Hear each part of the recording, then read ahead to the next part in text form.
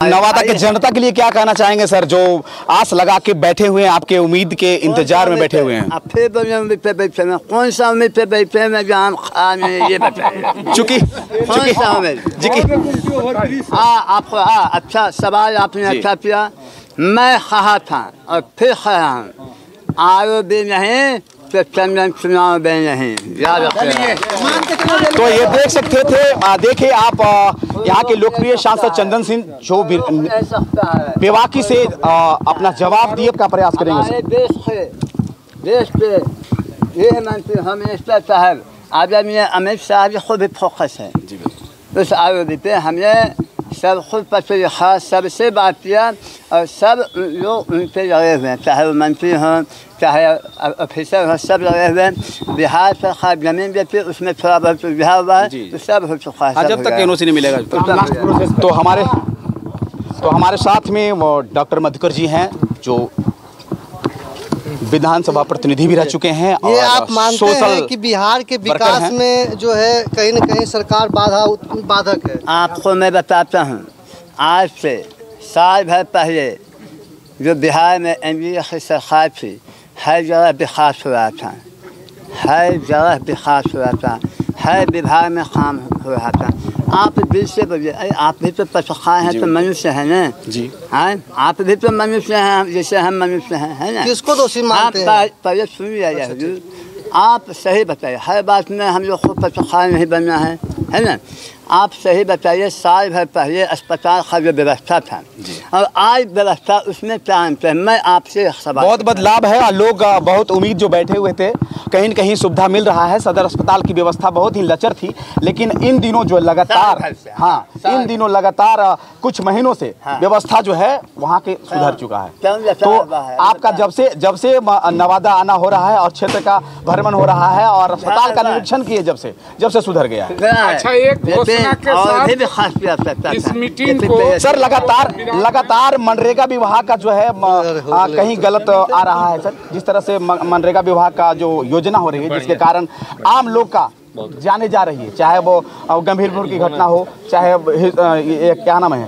यहाँ गोनर बिघा की घटना हो। पता पता होना चाहिए। हम परसों भी वहाँ थे दोनों विभाग में थे। जहाँ जहाँ ऐसा घटना होता मैं खुद अस्पताल पे गया हूँ। है, सर। और।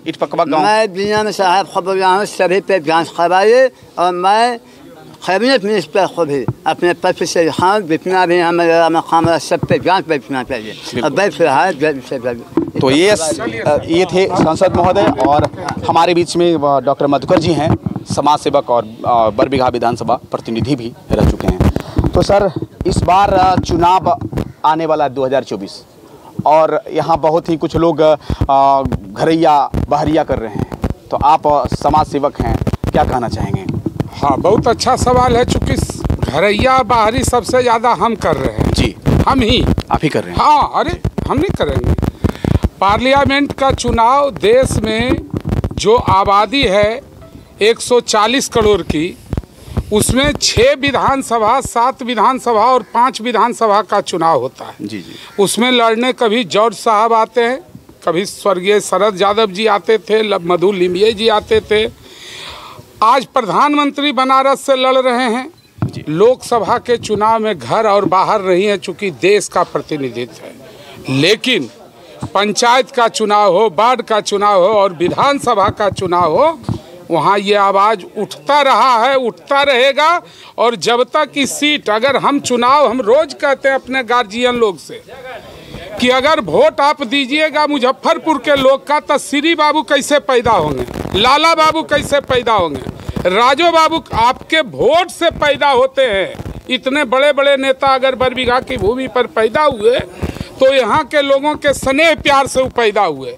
इसलिए जब भी चुनिए अपने घर के बेटे को चुनिए विधानसभा में, जो कि आपको विधानसभा में अपनी बात रख सके कि सरैया में ही गड़बड़ी है तेतारपुर में ही है से जिसको मालूम ही नहीं है वो चिट्ठा पढ़ के क्या बताएगा? जी, बिल्कुल।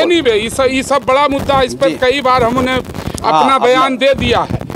एक बहुत महत्वपूर्ण सूचना के साथ समापन करेंगे। माननीय सांसद महोदय ने हमको ही कहा था कि आप इसको आप सारे लोग यहाँ उपस्थित हैं इस बात को जानिए कि इनके आने के समय पहला रोड अगर मेहूस था दूसरा रोड बरबीघा बाज़ार था तो इनके चुनाव के पहले निश्चित तौर पे ये लगे हुए हैं, काम सरकार करेगी। सारे लोग ध्यान से सुनिएगा। बरबीघा डाक बंगला से वह रोड गोपालबाद जो यहाँ फोर लेन है, उसमें निश्चित कनेक्ट होगा चौड़ीकरण के साथ। माननीय सांसद महोदय इसमें लगे हुए हैं।